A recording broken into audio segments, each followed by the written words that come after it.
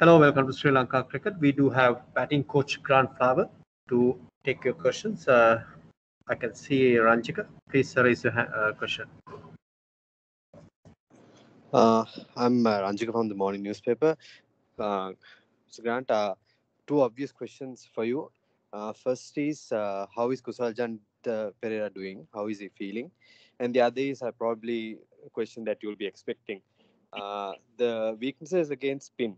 You being a great player against spin bowling, what sort of advice would you give these youngsters in preparation for the World Cup? Uh, yeah, firstly, KJ, he's he's struggling a bit with his shoulder, and just also just getting back to full fitness, running between the wickets, etc. So he's not hundred percent, but um, we we thought it was the right time for him to come back into the team. We needed him to bolster the batting, and today you, you look like probably our best batter. So it just shows the class of the guy, and hopefully that fitness will come back and his shoulder will improve. Regarding the playing of spin, yeah, thank you for the compliment. Appreciate that. Um, it's not through lack of practice. The guys hit lots of balls. We do lots of drills. We speak about it. We have lots of meetings.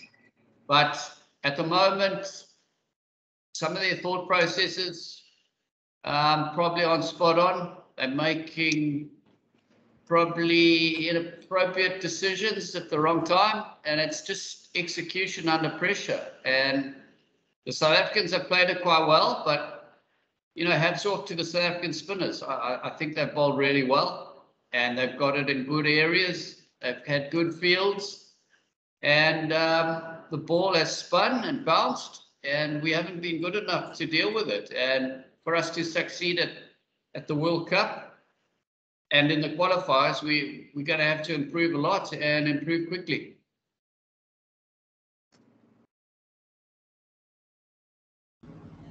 David Veerasinga. Grant, uh, we've seen uh, the South Africans playing the spin quite well uh, using uh, the reverse sweep and the um, conventional sweep. Um, we haven't seen much uh, coming from the Sri Lankans. Is it a um, natural ability that we don't possess? Is it the reason, or um, our guys are not? Um, they don't want to play the reverse sweep or the sweep? what do you reckon? Yeah, it's a it's a very good question, Dummeth. Um, I, I think that quite a few of the guys are reluctant to play it. And I think the belief in uh, within the guys is they can manipulate the ball without having to play the sweep or the reverse sweep. Um, but on big turning pitches, um, sometimes when you can't get down the track and you can't rotate the strike, you do have to play it. And, you know, and the guys do practice it, but maybe they need to practice it more. But it's a confidence thing. Um, you know, it's like hitting a cover drive. You, you've got to practice it a lot to gain that confidence. Um, but we, we've spoken about it, but, you know, you can have all the team meetings and say all the, do all the one-on-ones with the batter, but when he's under pressure in the middle, it's up to him to make the right decision and to pick the right ball to play whatever shot.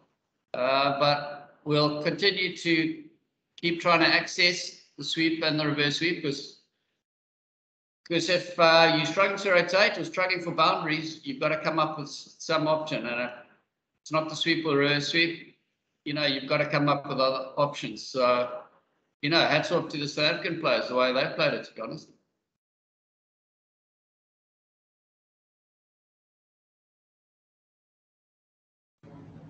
Asamami, please.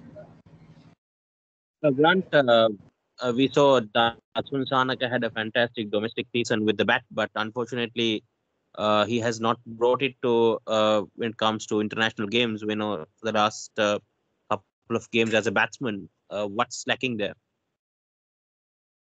Yeah, good. Another good question. I'm not sure. He's hitting the ball beautifully in the nets. Um, he had a really good domestic tournament previous in the T20, and he was the top batsman there. So maybe it might have something to do the captaincy, the pressure of that.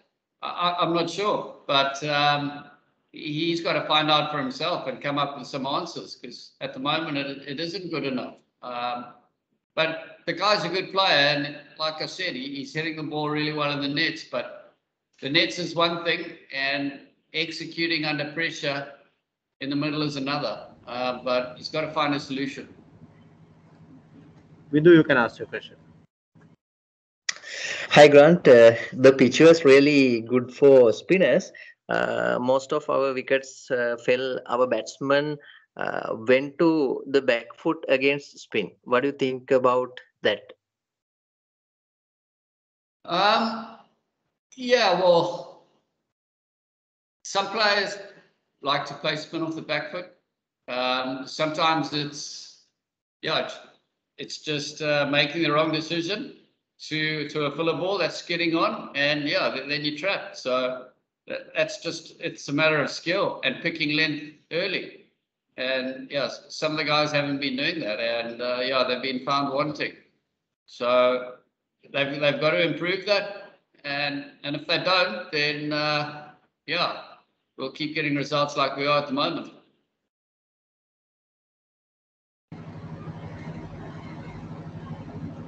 You can ask. Hello, Grant. Um, we uh, seen a last uh, match, uh, Sri Lanka lost the momentum in uh, power play. Uh, but today we got the momentum in the power play, but uh, we couldn't capitalize throughout the match. So we have very less matches before the uh, T20 World Cup. So how we capitalize our batting unit as a perfect batting unit uh, before the World Cup? Uh, yeah, we had a good start today. We're 50 for two in the power play. But, you know, KJ had a good start and so did um, Bhanuka. And they should have got on, carried on. Um, KJ went for a sweep and missed it. And Bhanuka got a full toss and he should have put away, or at least not, not it to the bowler, a full toss from an off spinner. Um, and it's not good enough because they both had good starts. Um, but the other guys should have rebuilt and done, did a lot better. But like you say, we, we've got some warm up matches.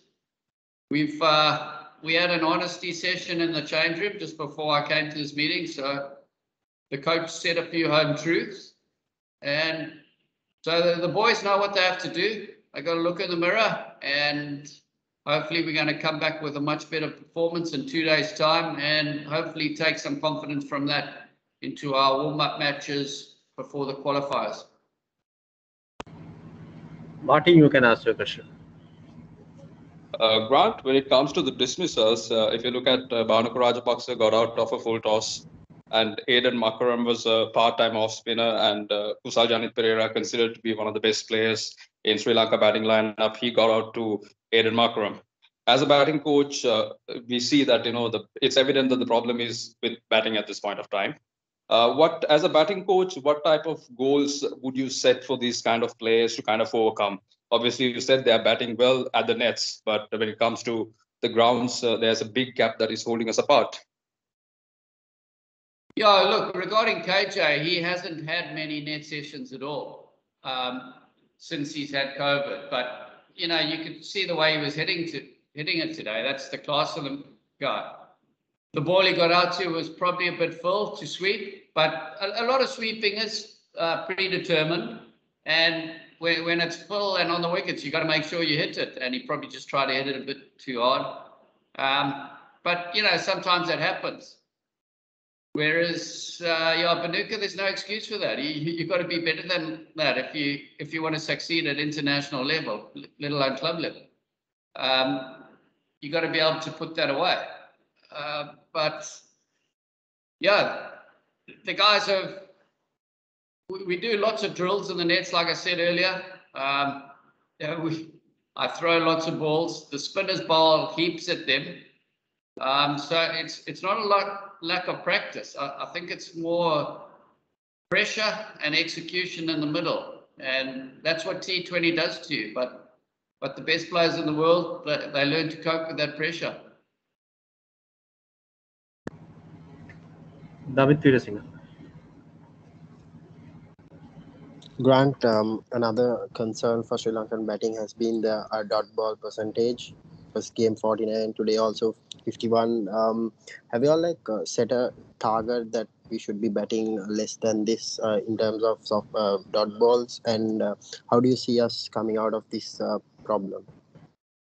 Yes, good question. And that is, that's analyzed every match. Our analyst tells us the amount of dot balls and it's recorded. And we do have specific goals of dot balls and we try and limit them each match. But past few matches, it's been very poor, unfortunately. Sometimes it comes from trying to hit the ball too hard um, or, or looking for too many boundaries.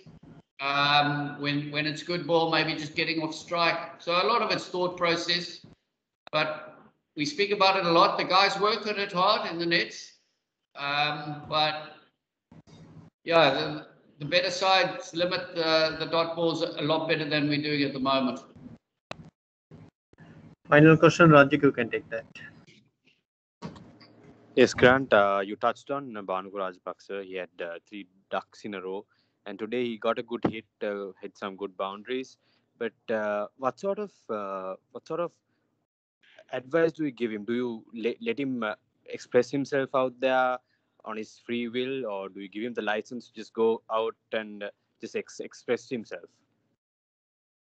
Yeah, he's one of the guys that can hit boundaries. So we we we do invite him to express himself, definitely. Um, but obviously playing to his strengths. And today he was going really well. He played some lovely shots. And, and he, he looked like today was his day. Uh, we had a really good session before the game, and I said to him in the nets, I haven't seen you hit it this well. And today's your day, but you know, and he, he, he looks a million dollars today until he got out. Um, but yeah, it, it, wasn't good enough. He, he needed to kick on.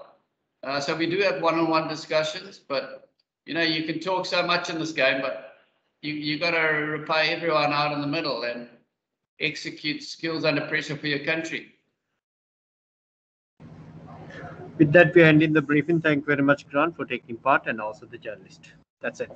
Thank you.